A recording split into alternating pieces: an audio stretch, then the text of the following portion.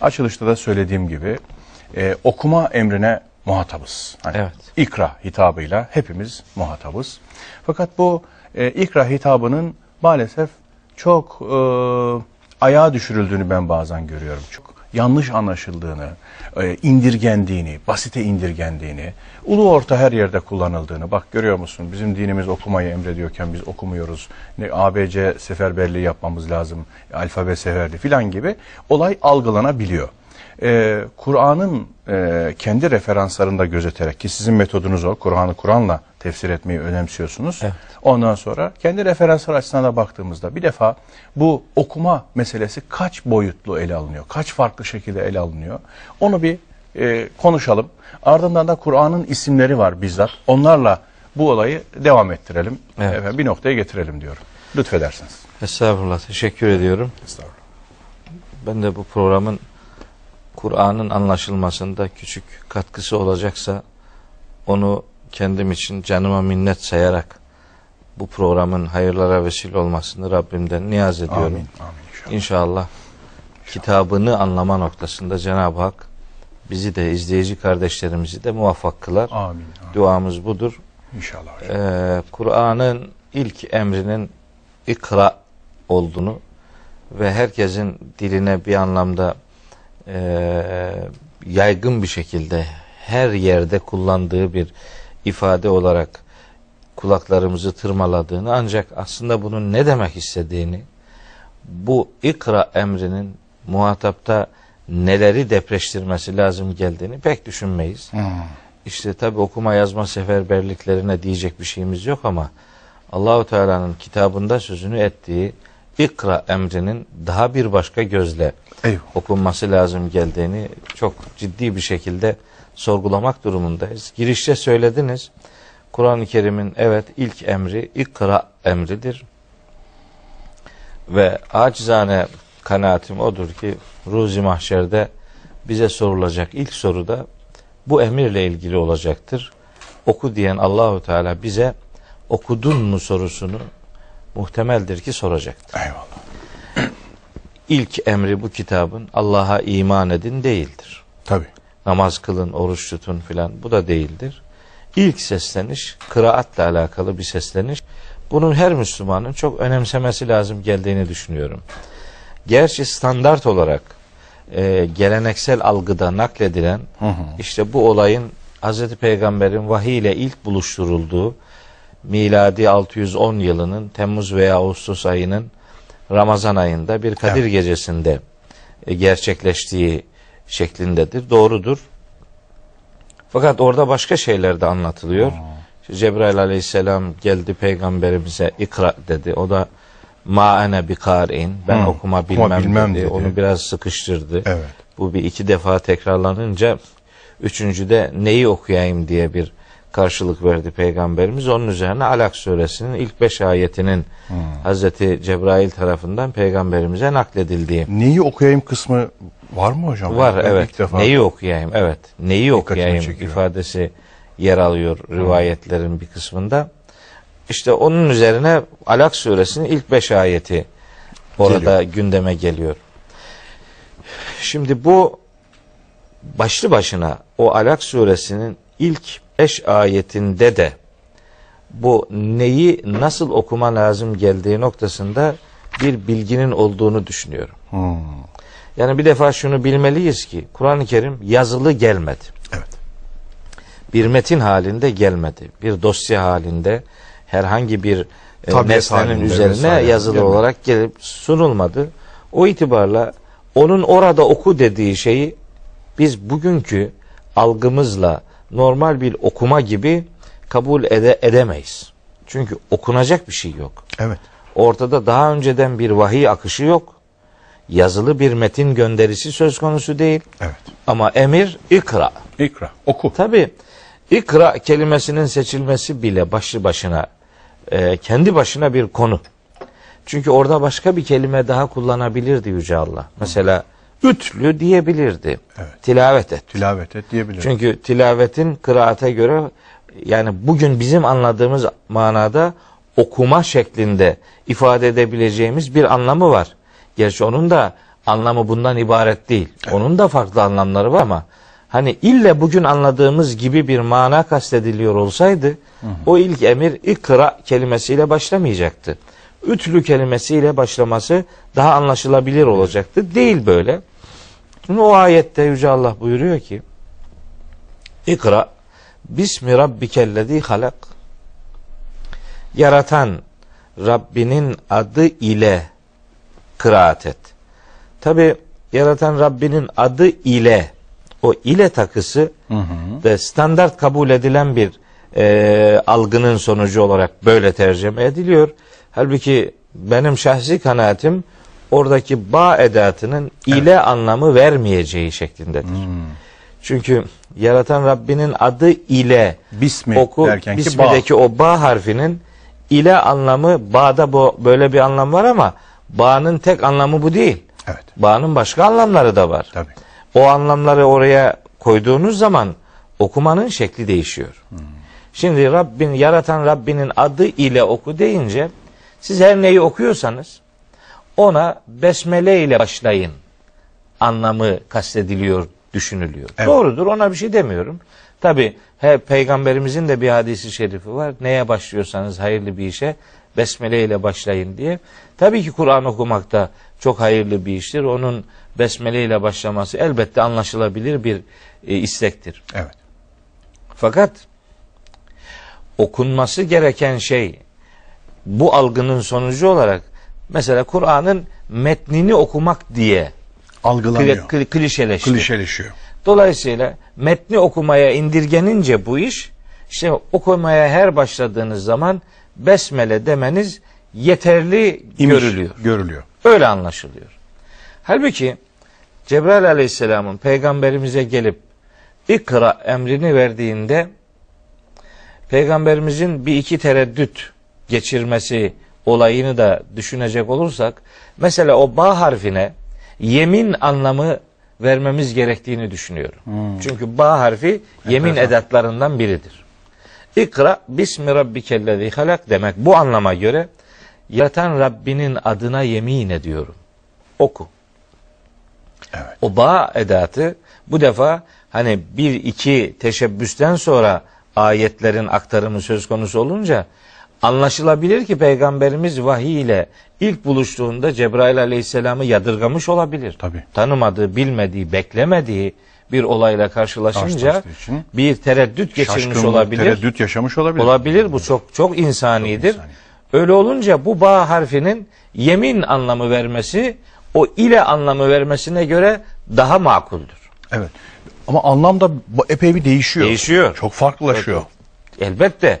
Şimdi bakın başka bir anlam daha vereceğim. Bu defa hep değişecek iş. Şimdi ba'nın bir anlamı daha var. Bu yemin anlamı Evet. bir başka anlamı da sebebiyet anlamı var ba harfinin. Yani Arapçada harflerin kendi cümleye kattıkları birden çok anlam ihtimali vardır. Bu çok anlamlılık örneklerinden biri de ba harfidir, vav harfidir vesaire. Evet. Şimdi buna sebebiyet anlamı verirseniz o zaman cümle şöyle olur.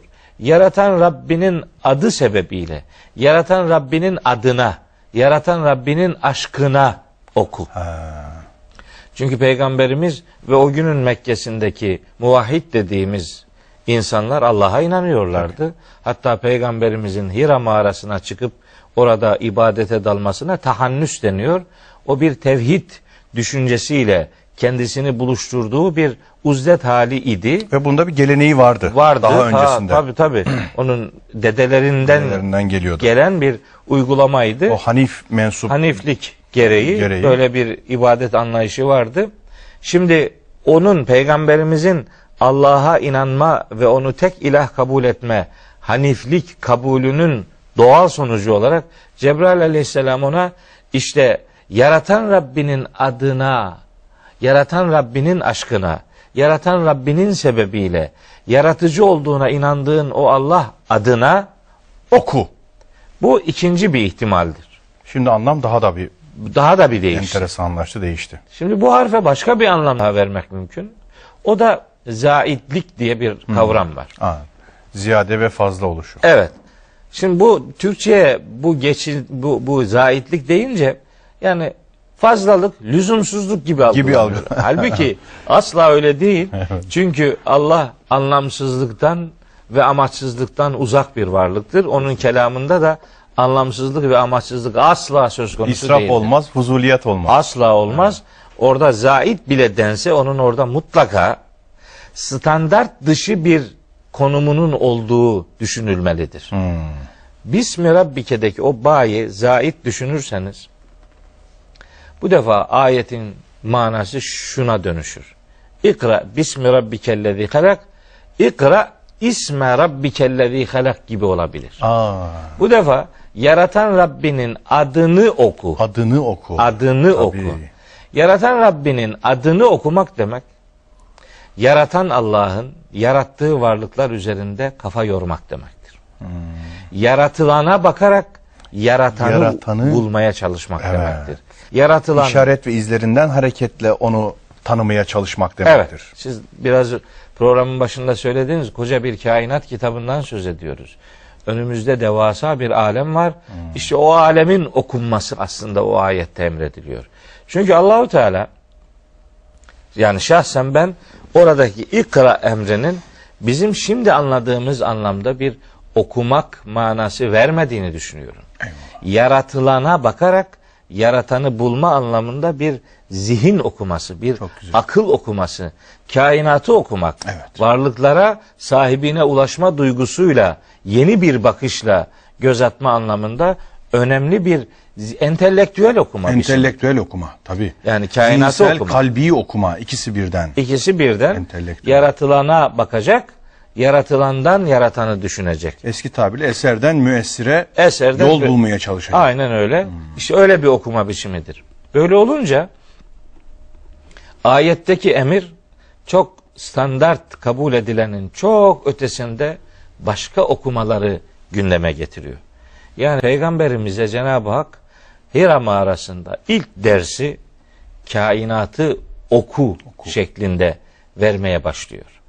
Böyle bir okuma kainatın Müslümanın önüne serilmiş koca bir laboratuvar olduğu sonucunu bize verir. Böylece ayetlerin ilk indirildiği dönemdeki o yaşanan enstantane Kur'an'ı tarihsel olmaktan da kurtarır. Kurtarıyor. Yani siz onu öyle bir olay oldu demek ki bu vahyi alıp açıp okumaktan ibarettir deyince e, bu zaten bir defa yaşanması gerekiyordu. Vardı, yaşandı, bitti. Bitti, o emrin bize eden bir şey yok. e, bize devam eden bir tarafı yoktur gibi bir algı söz konusu olabilirdi. Bu algı hiçbir şekilde doğru bir algı değil. Yaratılana bakılacak, yaratan bulunacak. Bulunacak. Çünkü Yusuf Bey o ikinci ayette İkra bismi rabbikellezi halak Halak. halakal insane min alak. İşte bu tam bu ikinci ayet bir düşünce okumasının artık yüzde yüz orada kastedildiğini ortaya koyuyor. Evet. Allahu Teala peygamberimize buyuruyor ki Allah insanı alaktan yarattı. Yarattı. İşte insanın nereden yaratıldığı biliniyor. Yani elbette bugünkü gibi teknolojik, bilimsel incelikler anlamında değil. Ve fakat her insan diğer insanların veya kendisinin nasıl bir e, orijinden geldiğini, Geldiğini merak ediyor. insanın işte hücreleri bağlamında nereden geldiğini biliyor. Şimdi orada yaratan Rabbinin adı ile oku ki o insanı alaktan yarattı. Biliyorsun alakın ne olduğunu. Alak işte bir e, sıvı. Evet. Oradan buraya geldi insanoğlu. Demek ki muhteşem bir dönüşüm ve muhteşem bir sanat var. İnsan kendisi üzerinden yaratılışın manasını kavramaya başlayacak ki en yakından başlayacak ki, Ki diğer taraflara diğer taraflara ulaşmasının bir anlamı olsun. Tabii. O itibarla Merkezi ihmal ederek etrafı okuması mümkün değil. mümkün değildir. Doğru yerden başlamak lazım.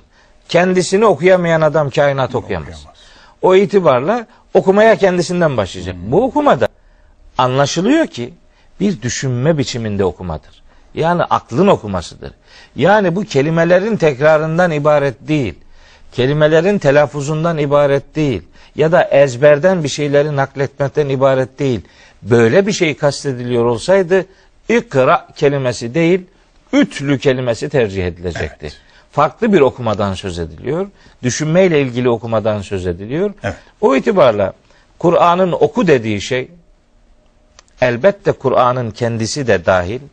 Kainatta okumaya konu olan ne varsa Ne varsa hep, hilkatte hepsini. hepsini içeren muhteşem evrensel bir okuma emridir. Ama- Ama onun, onun için mahşerdeki ilk sorumuzda oku emrine karşılık okudum mu şeklinde muhtemeldir ki böyle gerçekleşecektir. Bu okumanın ilk indirilen ayette sözü edilen emrin aslında ne anlama geldiğini ufak bir açıklamayla ortaya koymuş olduk. Ufak açıklama ama çok e, geniş çağrışımları bence var. Mesela benim dikkatimi çeken küçücük bir nüansın altını çizmek istiyorum. Hilkatin merkezi olarak okumanın insandan başlıyor olması. Ayetteki sıralamaya göre bana çok ilginç geldi. Evet. Yani insan merkezde onun etrafında örülmüş bir hilkat okuması e, düşünülmeli, üzerine tefekkür edilmeli diye gel- e, zihnimde belirdi hocam. Bir başka şey hocam kıraat, siz de satır aralarında söylediniz, e, tilavet ve tertil Evet. üzere okumak. Evet. Bu üçünün arasındaki farkı kısa da olsa ortaya koymayı önemsiyorum ben. Evet. Bir arz edebilir misiniz? Nedir bunlar? Elbette. Çok önemli bir e, çok önemli bir okuma mantığı insana kazandıracak üç terimle yüz yüzeyiz. Kur'an-ı Kerim'de tilavet emri var, kıraat emri var ve tertil emri var. Evet. Bunların üçü ayrı ayrı kelimeler. Yazık ki Türkçemize bu üç emirle alakalı tercüme yaptığınız zaman üçüyle ilgili de oku diyorsunuz. Okumak kelimesini kullanıyorsunuz. Halbuki Arapça tabii çok zengin bir dil. Çok. İçerisinde anlamların birbiriyle yakın ilişkisi olduğu gibi beraber kullanmanıza rağmen birbirinden uzak anlamlar veren kavramlar var. Mesela tilavet, mesela kıraat, mesela tertil bunun çok çarpıcı bir örneğidir. Şimdi en basitinden söyleyelim. En basit okuma tilavettir. Hı hı. Daha bir ileri düzeyde okuma kıraattir. Okumanın zirvesi tertildir. Ha. Kesinlikle. Bu üç bu, bu sıralamayı takip etmek lazım. O üç boyut, üç katman düşünülmeli. Evet. Tilavetle başlar. Tilavetle başlar. Kıraatle kıraatle, devam eder. Tertille zirveleşiyor. Tertille, tertille zirveleşir. Zirveleşiyor. Nedir tilavet? Tabi biraz ufak bir teknik olacak ama olsun bir zararı yok. Az önceki bağdaki gibi ne kadar güzel açılımlar oldu o bağ Evet, yani bunları söylemek analizinde. Yani çok standart ve çok sıradan. Herkesin bildiği kelimeleri bir daha hasılı tahsille uğraşmanın, malumu ilamla ilgilenmenin bir anlamı yok. yok. Varsa bir farklılık onu ortaya koymak Amin. lazım. Amin. Ya doğru bir yere yerleşmesi lazım. Söyle, söylemlerimizin adresinin iyi bir rotaya doğru şekillenmiş olması lazım. Eyvallah. Şimdi tilavet tela kökünden gelmiş bir mastar. Bunun Türkçe'de bizim yaptığımız çalışmalarda kullandığımız bu, bu kelimeye karşılık seçtiğimiz sözcük oku, okumak. Ama ben her zaman şunu söylüyorum Yusuf Bey. Biz Kur'an'la ilgili bir kavramı, bir kelimeyi konuşacaksak bir şeyi yapmaya mecburuz. Evet. Bu bir lüks değil, bu bir tercih değil, bu bir zorunluluk. Zaruret. Evet. Bir şey yapacağız. Ne yapacağız? Allah'ın kitabında konusunu ettiği, kullandığı bir kelime ya da kavrama o hangi anlamı yüklediyse biz onunla konuşacağız. Kavramın içini biz doldurmayacağız. Sahibi nasıl doldurduysa biz onu insanlara aktarmaya, tabii önce kendimiz onu öyle Anlamaya, anlamaya kavramaya çalışacağız. çalışacağız. Bu biz içini doldurmaya başlayınca kavram bir süre sonra tanınmaz hale geliyor. Evet. Kavramlar Kur'an'ın çeşitli yerlerinde, çeşitli bağlamlarda ele alınıyor. Oradan bak baktığınız zaman sizi çaresizliğe itecek bir durumun olmadığını görüyorsunuz. Mesela tilavetle alakalı birkaç tane ayet okuyayım. Lütfen. Bu ayetlerde nasıl farklı anlamların söz konusu edildiği gün gibi ortaya çıkacaktır. Mesela Yüce Allah peygamberimize hitaben çeşitli ayetlerde buyuruyor ki mesela vetlu aleyhim nebe'e İbrahim. Ha, Vetlu aleyhim işte nebe'e şu peygamber. Evet. Böyle ifadeler Eyüp var. mesela vesaire. Var bir diye. sürü peygamber var. Sen onlara şimdi İbrahim'in haberini Haberini. tilavet et. Tilavet et bu ayette tilavet etmek demek aktarmak demektir. hatırlatmak demektir. Hatırlatmak, nakil. Nakletmek demektir. İbrahim'in haberini onlara hatırlat. İbrahim'in haberini onların bilmesini sağla. Böylece vahyedilecek bu bilgileri onlara aktar. Evet. Tekrarla. Oradaki tilavet emri bu anlama, Bu anlama geliyor. geliyor. Aktarmak, efendim tekrarlamak, söylemek. hatırlatmak. Bu bu. Ama her zaman bu anlamı vermiyor bu kelime. Evet. Şimdi başka bir ayette buyuruyor ki mesela Peygamberimiz En'am suresinin 151. ayeti çok çok önemli mesajların yer aldığı 3 ayetlik bir pasaj var. En'am suresi 151, 152, 153'te. Onların başında 151. ayetin ilk cümlesi şöyle. Estağfirullah. Kul teâlev etlu ma harrama rabbukum aleyküm. De ki onlara gelin Rabbinizin size neleri haram kıldığını tilavet edeyim. Gelin size Rabbinizin neleri Neleri haram, haram kıldığını, kıldığını tilavet, tilavet edeyim. Hı hı. İşte buradaki tilavet etmek demek okumak demektir. Öğretmek demektir.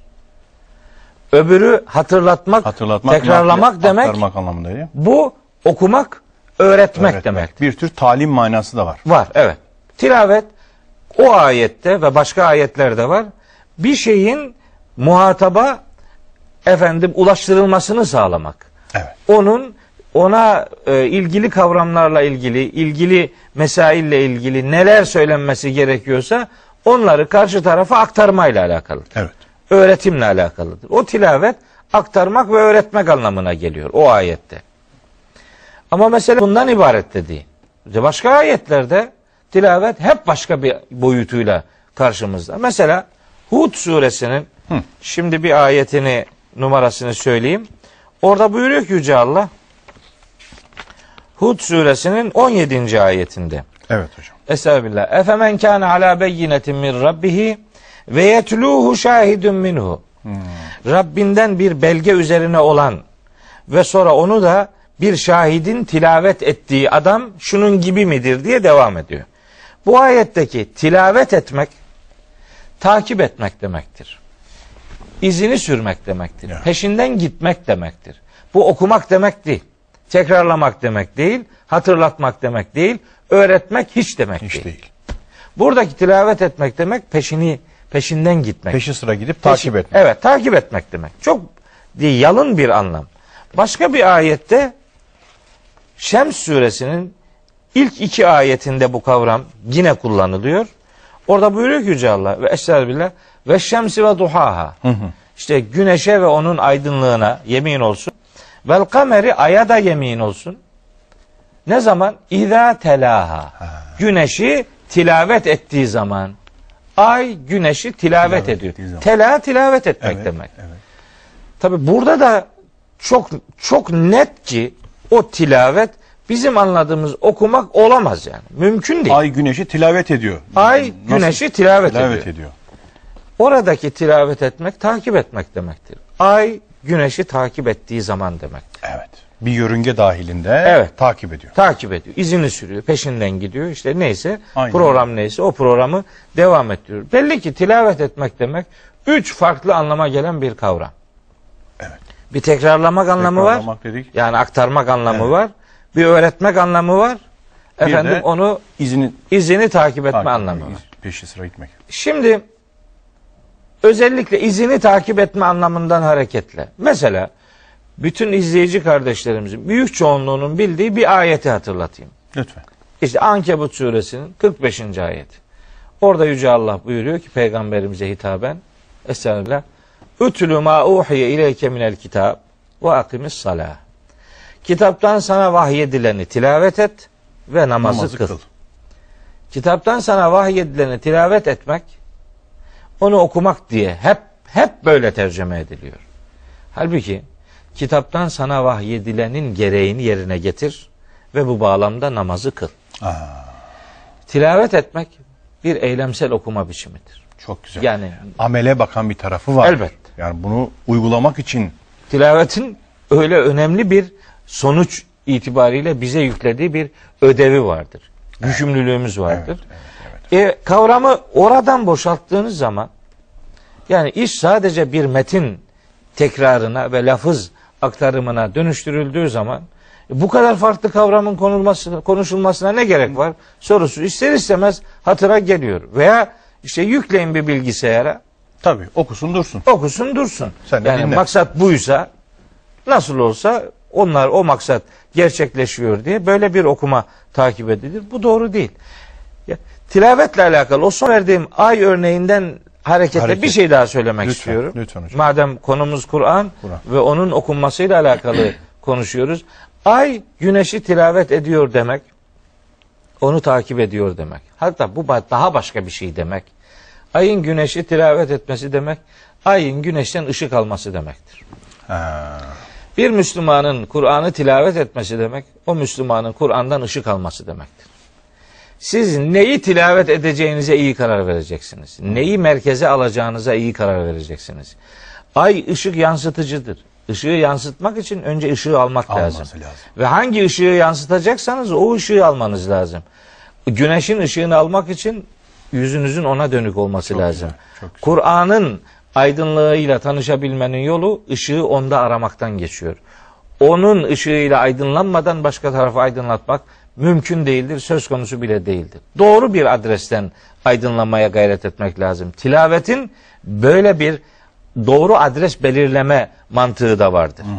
Kıraatle tilavet. ama ne kadar güzel. Yani aklımızın karanlıklarının, nefsimizin karanlıklarının Elbette. aydınlanması için Kur'an'ın nurundan ve ziyasından istifade amacıyla tilavet etmek. Evet, tilavetin Tilavet- böyle bir boyutu Böyle vardır. bir boyutu var. Böyle anladığımız anlamda böyle birkaç kelime tekrarından ibaret değil. Yani basit bir okuma biçimidir başta söyledim ama çok basit de değil. Kıraate göre daha Evet. daha birinci bir basamaktır. Ama bunun bir üçüncü boyutu var. Bir de Evet. tertil kısmı var. Tertil kısmı var. Hocam bu tertil kısmını e, biraz izleyicilerimizin de e, düşünmesini hesap ederek e, kısa bir aradan sonra Peki. yapalım mı? Olur. Orada daha da net konuşalım. Olur. Şimdi bir ara verelim, biraz nefeslenelim, sonra devam edelim. Hocam buyurunuz lütfen. Evet Yusuf Bey, tilavet üzerinde uzun uzadıya durduk. Eyvallah.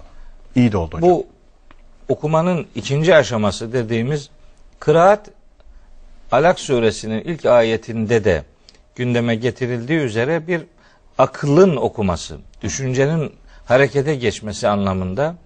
Yani varlıklar arasında ilişki kurarak o mevcut ilişkiyi anlamlandırabilecek bir zihni faaliyet olarak kıraati algılamak durumunda olduğumuzu ifade ettim. Evet. Gerçekten yaratılan şeylere bakarak yaratana ulaşma eğer böyle bir derdimiz varsa bu dert sadece kıraatle elde edilebilir. Yoksa tilavet bunu karşılamaz. Karşılamıyor. Evet.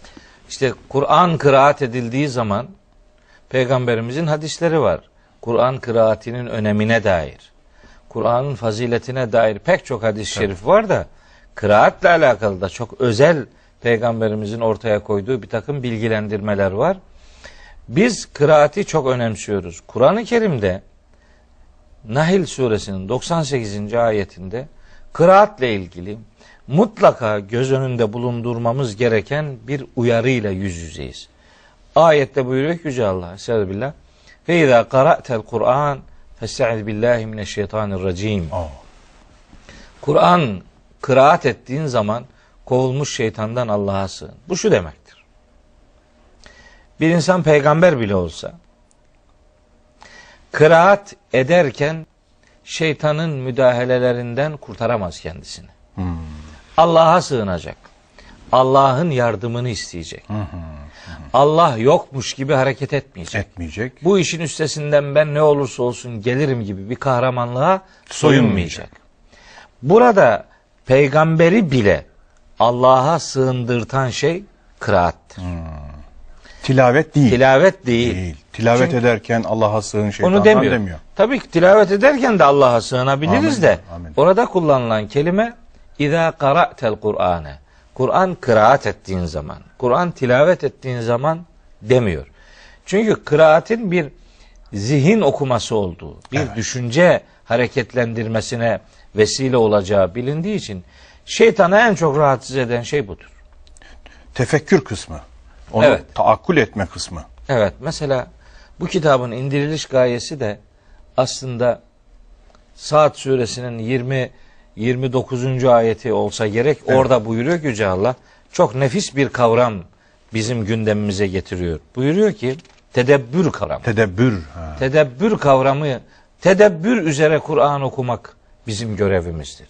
Öyle diyor Yüce Allah. Arka işin arka kısmını perde arkasında görerek manasında mı acaba? Evet, tede- Anlamlarından tedebbür biri. kelimesinin iki üç tane anlamı var. Biri odur. Ee, önce ayeti okuyayım. Lütfen. Yani kıraat ve tertil ilişkisi bağlamında bu kavramın çok önemli bir yer işgal ettiğini düşünüyorum. Lütfen. Saat suresi 29. ayet. Nisa suresi 82. ayette de geçiyor. Ee, Muhammed suresi 27. ayette de geçiyor. Ee, Müminun suresi 86. ayette de geçiyor. Dört defa geçiyor bu kavram Kur'an-ı Kerim'de. Evet. Bir tanesini hatırlatalım, yetinelim. Saat suresi 29'da buyuruyor ki Yüce Allah. Estağfirullah. Kitabun enzelnahu ileyke mübarekün. Bu sana indirdiğimiz kitap bir bereket kaynağıdır. Bereket dişi bir kelimedir. Bu bir fikir üretmesine medar olan bir zihin üretimi Çok güzel. o insana Üretime, kazandı. çoğalmaya müsait. Müsait. Evet. Yani Yani doğurgan bir kitap. Doğurgan. Bunun anlamları sürekli canlı canlı tutulan hatta anlamının inişi devam eden bir kitaptır. bu. Çok güzel. Mübarek bir kitaptır mesela. Olunca teberrük kısmı devreye Yani ya giriyor. saygı değer oluyor. Saygı değer oluyor. Yani hatta en saygı değer olana en çok dokunulmaz nitelendirmesi yakıştırırız. Siz bu vurguları yaptıkça ben ne nasıl bir zihin çar- çarpılmasına muhatap olduğumuzu e, e, esefle düşünüyorum. Zihnimiz çarpılmış. Evet yani işte mübarek kelimesi Mübarek kelime. bereketten türetilmiş bir kelime. Bu bir dişi bir kelime. Bir üretkenlik var bu kitap. Bu kitap standart, stabil bir kitap değil. Bu kitap hareketli bir kitaptır. Canlı, canlı. Bunun anlamları inişi devam eden bir şekilde dizayn edilmiş. Çok anlamlılık üzere programlanmış bir kitap. Bir bereket kaynağıdır bu kitap. Niye indirildiğini gerekçelendiriyor Allahu Teala iki gerekçeyle. Buyuruyor ki liyedebberu ayatihi. Ayetlerini tedebbür Tedebbür. etsinler. Kim? Yeddebberu herkes. Tedebbür edecek ayetlerini ve liyetezekkere ulul elbab ve ulul elbab denilenler de öğüt alacak. Evet. Hadi bakalım. Ulul elbab olanlar Ve ve öğüt alanlar. öğüt alan. Öğüt alacak şimdi bu adamlar. Ama bu öğüt alma işi sonuç. Bunun sebebi tedebbür. Tedebbür. tedebbür yapmadan o öbürü olmuyor. Tedebbür nedir? Sizin biraz önce ifade ettiğiniz gibi tedebbür debere kökünden bir e, fiil, Evet, fiil. mastar. E, debere arka demek. Evet. Tedebbür etmek demek ayetlerin arka planını görmek. Görmek. demektir. Bu kelimenin kökü aynı olan başka türevleri var. Mesela dabir kelimesi. Hmm. Dabir, tedebbür aynı kökten gelir. Dabir kök demek. Evet. Allah'ın ayetlerinin kökü araştırılsın. Anlamlarının nerelerden beslendiği insanlar tarafından Ve nerelere uzandığı. nerelere uzandığı, Uzandığı. nereden geliyor. Siz köküne ulaşmazsanız dallarıyla ilgilenemezsiniz. Çok güzel. Ve zaten ayakta da duramazsınız. Tedebbürün böyle meselenin köküne inmek gibi bir anlamı da var. Hmm. Bir anlamı daha var. Tedebbür tedbirle de aynı kökten gelir. Aa, evet. Tedebbür vahyi iyi düşünerek hayatınızın geleceğine dair nasıl bir önlem almanız gerektiğini size öğreten ilkesel bir okuma biçimidir. Çok hoş. Şimdi ayetlerin söylediğine bakacaksınız. Arka planını düşüneceksiniz. Yani söylediğine bakıp söylemek istediğini göreceksiniz.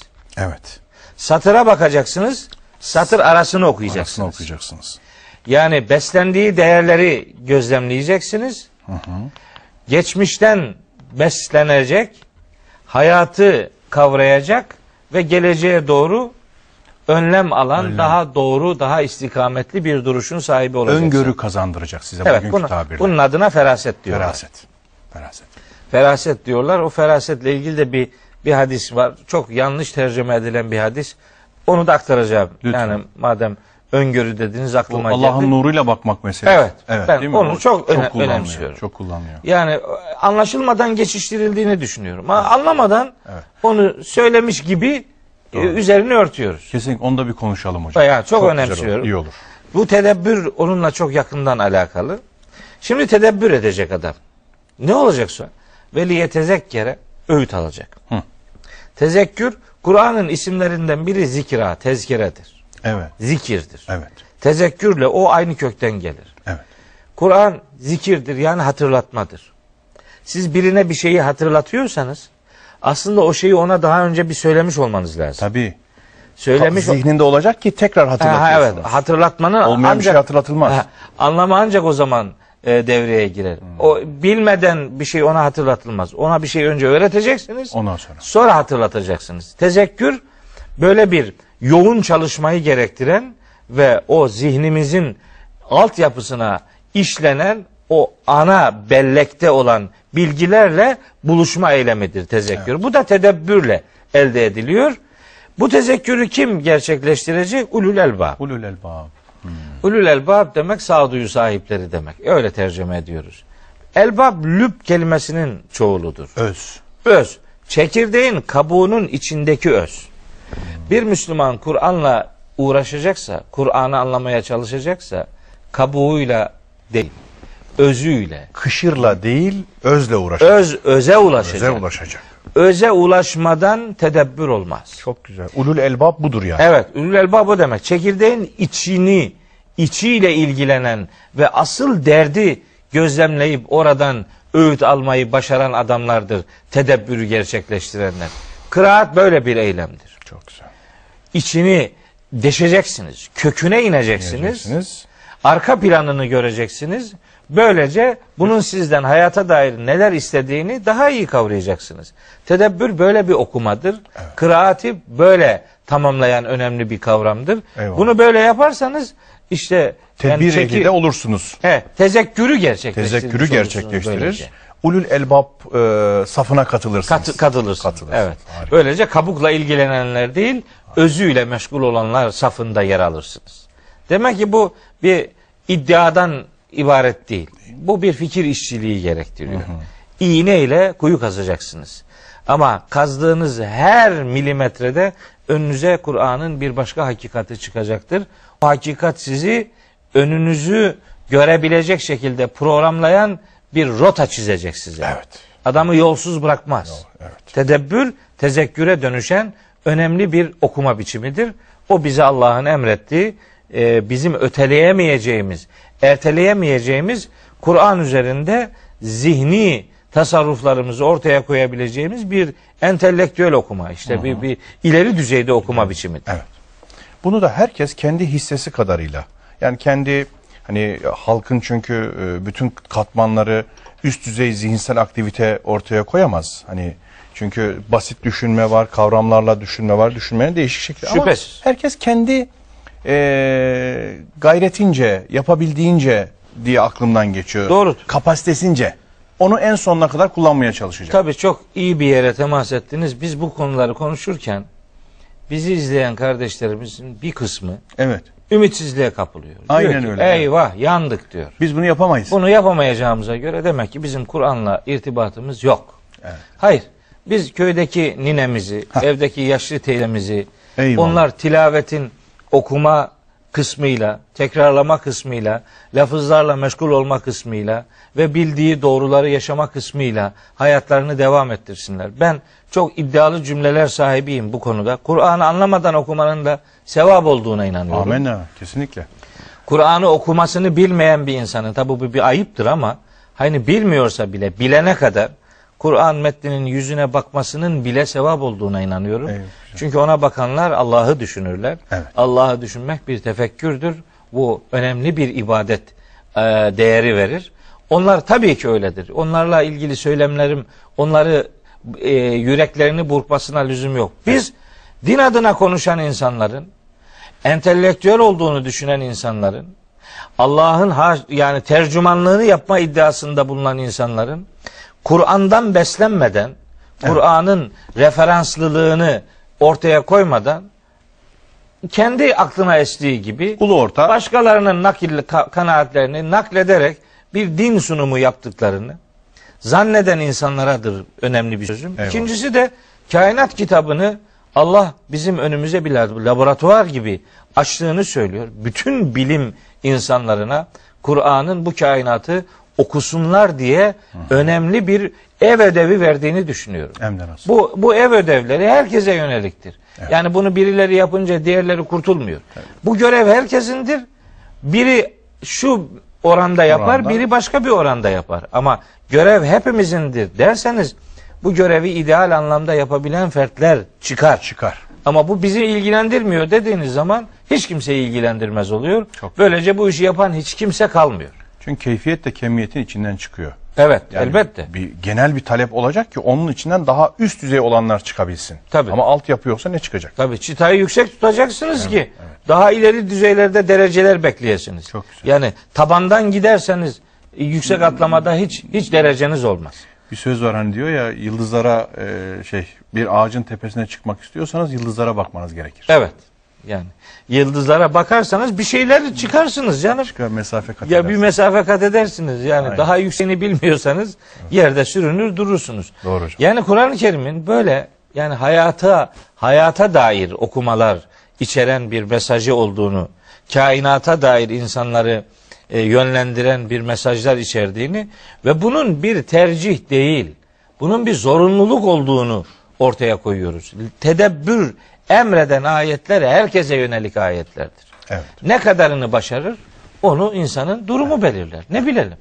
Biz biz biraz başarırız, bir başkası biraz başarır. Onun için biz yaptığımız eylemlerle cenneti hak ettiğimizi hiç iddia etmeyiz. Kesinlikle. Çünkü bunun ideal olanı bizim için ufuktur. Oraya kadar kabahatimiz ne kadardır? Allahu Teala bizi inşallah kabahatlerimizden dolayı bağışlayacaktır. Ama Amin inşallah. yani bir ağaç örneği verdiniz. Bir adamın ağaca tırmanması için siz ona yardım edersiniz. Fakat o önce ağacın gövdesine bir sarılacak ki siz de ayak ayaklarından destek olacaksınız. Omuz vereceksiniz. Bir şey olacak. Adam ağaca hiç sarılmadan siz ona nasıl destek olacaksınız yani? Adamı tutup da ağacın tepesine atamazsınız. atmak gibi bir durumumuz yok. Derdimiz işte Kur'an'ı anlamak isteyenlere ufak bir katkıda bulunmak. Kıraat denen okuma biçiminin standart okumadan çok farklı olduğunu onlara hatırlatabilmek, böyle bir görevimiz olduğunu, bunun bir lüks bir tercih değil, bir zorunluluk olduğunu ortaya koyan bir hatırlatmacılıktır bizim yaptığımız. Aynen öyle. Yoksa işi yokuşa sürmek ve bir imkansızı dillendirmek gibi bir derdimiz asla yoktur. Evet. Allahu Teala Kur'an'ında bir şeyi emrediyorsa o bir defa kolaydır. Evet. Emrediyorsa Emrediyor. teklifi mala yutak hani eski tabirle olmaz. Kaldıramayacağımız yükü bize teklif eder mi? Tabii, Emreder etmez. mi? Böyle bir şey olmaz. Biz şimdi en basit yük- yükümlülükleri de yapmadığımız için her görevin zor olduğunu zannediyoruz. Evet. Hayır bu şeyi bir, bir gir bakalım işin içine. Biraz bir uğraş bakalım. Peygamberimize bu vahiy 23 yılda gelip tamamlandı. Yani onu 23 yıl meşgul eden bir kitap seni de iki sene meşgul etsin canım. Yani ondan daha mı zekiyiz? Yani onun koca çeyrek asırını alan bir kitabı biz de yani bir 5-10 sene bununla uğraşmak durumundayız. Bu bir lüks değil. Evet. Yani boşuna uğraşı değil. Allah'ın kitabı bizden böyle şeyleri Tabii. istiyor. Ama bizi öyle bir e, klişe laflarla bu kitaptan uzaklaştırdılar ki mesela Yusuf Bey düşünebiliyor musunuz? Adam diyor ki Hı. din ilimleri dünya ilimleri. Evet. Böyle Tamam. bir ayrım var. Heh. Din ilimleri, Çok dünya ilimleri deyince, deyince din ilimleri adam diyor ki tamam ben Kur'an'ı okurum tefsir, hadis bakarım diyor. bakarım tamam. Bitti. Gerisi, gerisi beni ilgilendirmiyor. Ya din ilmi, dünya ilmi diye bir ayrım son derece yanlış bir ayrım. Bizim dinimiz dünyayı ihmali hoş gören bir din değil. Bu kitap kainata gönderme yapan bir kitaptır. Dünya bilimi dediğin şey de dinin yönlendirdiği bilimlerden oluşan efendim değerlerdir. Aynen. Yani o, onun Yani onun kainat rakibi Allah'ın değil ki. kitabı gibi görülmeyince hocam Evet. okuma biçimi de tek bir okumaya indirgenince bakın anlattıklarınızın hepsi zincirleme. Evet. Hepsi birbirine zincirleme reaksiyon halinde. Evet. Yani y- yani böyle kategorizasyonlar yaşanınca yani kitap hayatımızdan çıktı. Evet. Kitapla yüz yüze olanlar bile kitaptan hicret ettiklerini fark edemez duruma geldiler. Hele bir de bu başka bir alemle alakalıdır. Öbür bilimler başka bir alemle alakalıdır Alakalı. diye. Bir de böyle bir ayrım ortaya çıkınca bizim kıraat dediğimiz, tedebbür dediğimiz, tezekkür dediğimiz, tertil dediğimiz okumalar Müslümanın gündeminden tamamen çıkmış oluyor. Evet. Geriye bir tilavet kalıyor. Onun da üç anlamından bir tanesiyle kör topal işte bir iletişimimiz var. Evet. E bu doğru bir okuma biçimi değil. Şimdi vahyin gelmeye başladığı ilk e, günlerde Müzzemmil suresi iniyor. Evet, evet, evet. Müzzemmil suresi çok garibime gidiyor. Şimdi insanlar Müzzemmil suresini okuyor. Anlamadan anlamış numarası yapıyor. Şimdi düşünebiliyor musunuz? Diyor ki Estağfirullah. Ya eyyühel müzzemmilu. Ey müzzemmil. Müzzemmil nedir müzzemmil? Ya eyyühel müddessiru. Ey örtüsüne bürünen peygamber. Buyur. Kalk. Şimdi bitti. Bu tercümeyi böyle yaptın mı zaten daha bir şey yapmana gerek yok. Yani peygamberimizi bir battaniyeyle örtünmüş gibi tanıtıyorsa bir mü- müzzemmil kelimesine bu anlamı veriyorsak hiç daha yapacak bir şey yok. Tam tarihsel bir metin oluyor. İş kadifeye, battaniyeye indirgenmiş oluyor. Yani eve gelmiş titreyerek üzerini örtmüş. Evet. Falan. Orada da işte Hazreti zemmiluni demiş. Hı. Beni örtün demiş. Beni. Evde bir tek Hazreti Hatice var. Niye zemmilu diye çoğul kullanıyor? O da bir garabet. Garabet düşünmesi. Ya bir sıkıntılar var bu işlerin içerisinde. Fakat bakın Yusuf Bey işin içinde insanlar olarak biz bile Evet. o örtünmeyi bir nesne ile örtünme olarak algılamışız. Halbuki İbn Abbas diyor ki en son Müzzemmil suresinin tefsiriyle meşgul olduğum için çok ta o surenin içinde içinde yüreğim kaynıyor. Orada İbn Abbas diyor ki el müzzemmil demek Hazreti Peygamber'in vahiy ile ve risaletle buluşmasıdır. Allahu Ekber. Bak bunu İbn Abbas söylüyor. Çok güzel. E niye bunu hiç canlandırmadık biz? Hep örtünmeyi bir battaniyeden ibaret saydık da peygamberimiz yani titreme tuttu da üzeri örtündü de filan. Allah Allah. Yani Cebrail'i ilk gördüğü zaman tabii ki etkilenmiş olması normal ama siz müzzemmil kelimesini öyle bir örtüyle ifade ederseniz Ona indirgerseniz onu ona indirgerseniz o ayet hem tarihsel kalır hem tarihsellik içerisinde de muhtemel pek çok anlamın bir tanesine mahkum edilmiş olur. Halbuki el müzzemmil hepimizi ilgilendiriyor. Evet. Ey vahiy ile bürünmek isteyen adam demektir. Allah Allah. Bizi de ilgilendiriyor bu. Vahiy ile inşa olmak için vahyin hayatınıza bir şeyler katmasını istiyorsanız siz vahiy ile yüzleşeceksiniz. Tilavet edeceksiniz, kıraat edeceksiniz, tertil edeceksiniz ki vahiy size kendisini atsın. Siz hayatınızı vahye vakfedeceksiniz ki vahiy hayatınıza istikamet versin. Evet. Yani müzzemmili böyle normal bir örtünmeye dönüştürdüğünüz zaman ondan sonra ne oluyor biliyor musunuz? Kumil leyle illa kalila. Evet. Gecenin az bir bölümü hariç kalk. Kalk. Kalkınca hemen parantez açıyor. Kalk ve namaz kıl. O ayetlerin indirildiği dönemde namaz yoktu. Öyle bizim bildiğimiz namaz, rükünleri, şartları, vakitleri, rekatları belirlenmiş bir namaz yok. Namaz. Daha yeni başlıyor vahiy. Evet. Yani gecenin o vaktinde kalkmayı bu anlamda namaza Namaza. hasrediyor. Evet. Böylece gece yapılacak en iyi iş namaz kılmaktır. Hayır. Gece yapılacak işin ne olduğunu söylüyor Allahu Teala. Biz parantez açmamıza gerek yok. Kumilleyle geceyi geceleyin kalk. Tabi geceyi kaldır anlamı da var bunun. Evet. Geceyi ayaklandır. Ayaklandır. Yarısını, yarısından biraz önce, yarısından biraz sonra. Benim kanaatim o ayetler peygamberimize bir gecede en az üç defa kalkmayı emrediyor. Ölümün ikiz kardeşi olan uykuyu hareketlendir. Hareketlendir. Geceyi aydınlat Tabii. gibi birçok anlam çıkarılabilir. E kardeşim, uykusuna hükmedemeyen adam yarınına nasıl hükmedecek? Herkes uyurken siz de uyursanız herkesten ne farkınız kalacak? Evet. Koca bir iddianın sahibi Hazreti Muhammed. Gecenin uykusuna mağlup olacak bir adam olmamalıdır. Onun için Cenab-ı Hak diyor ki geceleyin kalk. Üç defa. En az üç defa. Yorumcular bunu ya gecenin yarısında ya biraz öncesinde ya biraz sonrasında diye oradaki ev edatına veya anlamı veriyorlar ama ben hiç o kanaatte değilim. Çünkü o surenin 20. ayetinde bunun veya anlamına gelmediğini söylüyor Allahu Teala. Diyor ki inne rabbeke ya'lemu enneke tekumu edna min sülüseyil leyli ve nisfehu ve sülüsehu. Üçte ikisinde, yarısında ve üçte birinde sen ve müminlerin ayakta bulunduğunuzu Rabbin biliyor diyor. Şimdi ayakta bulununca ne istiyor Allahu Teala? Buyuruyor ki evzid aleyhi ya da işte yarısından sonra kalk, kalk ve rettilil Kur'ane tertila. Kalkınca ne yapacağını söylüyor.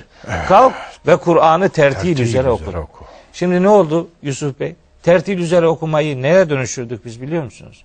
Tertili tecvide kurban ettik. Şimdi tertil harfleri açık açık peşi peşine güzel okumak. Anlamlarından biri süze budur. süze ağır ağır. Ağır ağır. Okuma. Yani bu lafzın tekrarıyla, Evet. telaffuzuyla alakalı bir anlam vermiş. Yani geleneksel algı. Evet. Merhum Elmalılı Hamdi Yazır bu ayeti izah ederken diyor ki tabi doğrudur diyor. Yani tecvidli de okumak lazım. Çünkü tecvid demek işi yoluna koymak demek. Caddeye sokmak demek yani. Yanlışlıklardan uzaklaştırarak doğru bir telaffuz ortaya koymak. Patikalara, pıtraklı tarlalara sürmeden, Sürmeden caddeye sokmak. Caddede, caddeleştirmek yani. Çok güzel. Düzgün bir yoldan gitmek demektir. Çok güzel. Tecvid o demek. Kur'an'ı da o anlamda tabi tecvidi küçümsediğimizi asla Amin. düşünmesin kardeşlerimiz ama tertilin tecvidle ilgisi tecvid dediğimiz o işi yoluna koyma anlamındaki hassasiyetimiz tertili sağlamak içindir. Tertilin aracıdır. Aracıdır. Aracı amaç haline getirdiğin zaman Hah. iş bitiyor. İş tecvitten ibaret kalıyor. Bu defa uğraşıyorsunuz kaf nasıl kalkaleyle çıkar. Ee, Elmalı diyor ki kafın kalkalesiyle çatlatılmasıyla uğraşırken kafın içinde bulunduğu kelimenin anlamını buharlaştırmayın diyor. çok güzel. Yani tertil Kur'anlaşarak Kur'an'ı okumak demektir. El anda problem hocam bu. Evet. Aynı çatlatmayla dediğiniz gibi kafın kalkalesiyle uğraşırken anlam Anlam uçup buharlaşıyor. gidiyor. Halbuki mesela o kelimelerde kelimelerdeki harflerin seçilişi çok mucizedir. Öyle acayip kelimeler vardır ki kelimeyi telaffuz ederken anlamı zihninizde aşağı yukarı beliriyor. Mesela diyor ki feküb kibu fiha. Hmm. Feküb kibu fiha. Keb kebe küb kibu bir kemik sesi veriyor. Aynen. İnsanların mahşerde cehenneme atılırken çıkartacakları sesler için kullanıyor onu. Feküb kibu fiha hum vel. Kelimenin kendisi de anlamını hissettirecek bir e, telaffuza sahip. Sesteşlikten çıkıyor. Çıkıyor. İşte Nas suresini okusunlar. Bir fısıltı, bir vesvese zaten Yuvesfisu şeyi değil mi? Fi sudurin nas. Ellezî e, kul euzu bi rabbin nâsi melikin nâsi ilahin nâsi min şerril vesvasil hannâs ellezî yuvesvisu Sepsele. fî sudurin nâsi minel cinneti ven nâsi böyle fısıltı bir vesvese şeyi zaten hissediliyor. Çok güzel. Elbette bu anlamda tecvid önemlidir. Hiç ona diyecek bir şeyim yok. Ama mesele tecvidden ibaret değildir. Tecvidi tertilin aracı gibi görerek tertilde anlamla bizi bulaş, buluşturacak o yoğun e, ilgimizi tecvid aracılığıyla ortaya koyacağımızı düşünmek durumundayız. Ama meseleyi tertil üzere Kur'an okumak, hadır üzere Kur'an okumak, yani okumadaki e, diyelim ki dakikaları Evet. e, işin içerisine katarak tertili asıl anlamından uzaklaştıran bir anlam kayması yaşanıyor. Program başında söylemiştim. Kavramlara Kur'an'da Allah'ın yüklediği anlamlar üzerinden kavramları tanımaya İçini boşaltıp lazım. kendimiz yüklediğimizde kendimiz dolduruyoruz. iş zımadan çıkıyor. O zaman o zaman Müzzemmil suresinin ilk ayetlerine de gece kalkınca namaz kıl diyor. Gece kalkınca yapılacak iş tertildir. Tertil Kur'anlaşarak Kur'an okumak demektir. Evet. Hücrelerinize yedirerek Kur'an okumak demektir. Yani hayata Kur'an'ın bak dediği yerden bakmaktır. Eyvallah. Hayatı Kur'an'ın istediği gibi yaşamak. Onu onu insanın yüreğine yerleştirmesini, yazmasını sağlamaktır. Onun için tertil kıraatten daha öte, Öte, bir üst. hakikati, daha üst bir okumayı ifade eder. Kur'anlaşarak Kur'an okumak. Ben bu bu kelimeyi özellikle kullanıyorum. Sanki şöyle bir şey aklıma geliyor bilmiyorum doğru mu? Yani hem e, kıraati hem e, tilaveti tertilin içine de e, dahil etmiyor. İkisini üç ikisini birden de kapsıyor Elbette gibi bir anlam da çıkıyor. Hiç şüphesiz bu kavramların üç Tertil- tanesi birbirinden bağımsız şeyler değiller. Birbiriyle iç içe. İç içe. İç içe. Kompartıman gibi ayrı değil yani. Değil hayır. Değil. Tertil üzere Kur'an okuyan adam aslında tilaveti de yapan adamdır. Kıraati de yapan, yapan adamdır. adamdır. Harika. Ama mesela tilavet ve kıraatten ibaret değil. Bunun bir tertil boyutu da var. İşinizi okumanızı oraya yönlendirin ki böyle bir okuma biçimi insanın yüreğinin Kur'an'la buluşmasını sağlayacak. Öyle diyor Furkan suresinde Allahu Teala. Kafirler diyorlar ki peygamberimizin Kur'an'ı uydurduğunu düşünen kafirler diyorlar ki ve kalu ve kalellezine keferu levla nuzzile aleyhi'l Kur'anu cümleten vahide. Kur'an'ı buna topluca indirilseydi ya Bir kere de bir, indirilebilir. bir gelseydi kedalike. Diyor ki Yüce Allah haklısınız. Böyle de olabilirdi yani. Ama öyle olmadı. Niçin? Linusebbite bihi fuadeke. Yüreğinizi dayanıklı hale getirmek için. Ve rattelnahu tertila. Onun için bunu yavaş yavaş size aktardık. Kur'an'ın inişi 23 senede tertil üzere yavaş yavaş gelmiştir. Kur'an'ı okumada okuma biçimimiz tertil üzere yavaş yavaş şekillenmelidir. Kur'an'ı anlatırken de İsra suresi 106. ayetin buyruğu gereği yavaş yavaş insanlara aktarmak diye bir görevimiz var. Ve Kur'an'ın faraknahu litekra'ahu alen nasi ala muksin. Bunu insanlara yavaş yavaş ağır ağır kıraat edesin diye bunu peyderpey parça parça indirdik diyor. Demek ki tedriciyet kanunu dediğimiz şeyi de buradan çıkarıyoruz. Aşama aşama. Aşama aşama. Yani demiri döve döve. O çeliğe suyu vere vere. Vere vere. Yedire yedire yapmak Tabii lazım. 23 yıl süren bir iniş okumada bir tertil, aktarmada da bir tertil söz konusudur. Yavaş yavaş gidecek bu iş. Peygamberimize soruyor Abdullah bin Amr diye bir sahabi. Ya Resulallah Kur'an'ı ne kadar zamanda okusam Heh. doğru bir okumadır? Peygamberimiz buyuruyor ki bir ayda. Bir ayda. Bu adamlar sahabiler Kur'an'ın indirilişine şahit olmuş Tabii. insanlar. Onlar ayetleri çok iyi bilen insanlar. Buna rağmen diyor ki bir ayda oku.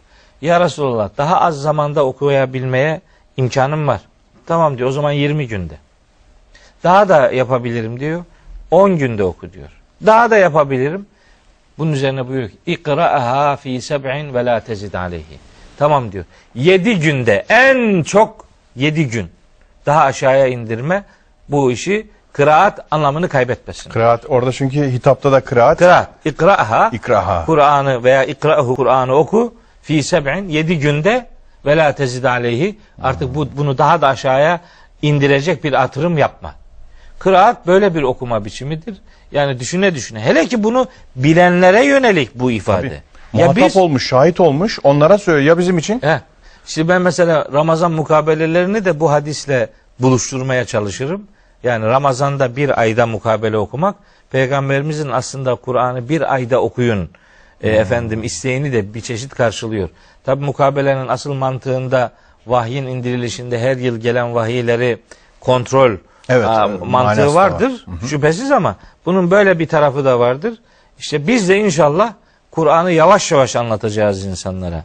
Daha çok şeyi e, çorba yapmaktansa daha az şeyi daha düzgün ifadelerle daha net bilgilere, kalıplara dökerek kardeşlerimize ulaştıracağız ki ancak bir tertil üzere Kur'an okumanın efendim küçücük bir imkanını elde etmiş olur, oluruz. Yani, yani çok karıştırarak işi götürmek de çok doğru değil. Çok doğru değil. Gayet net hocam.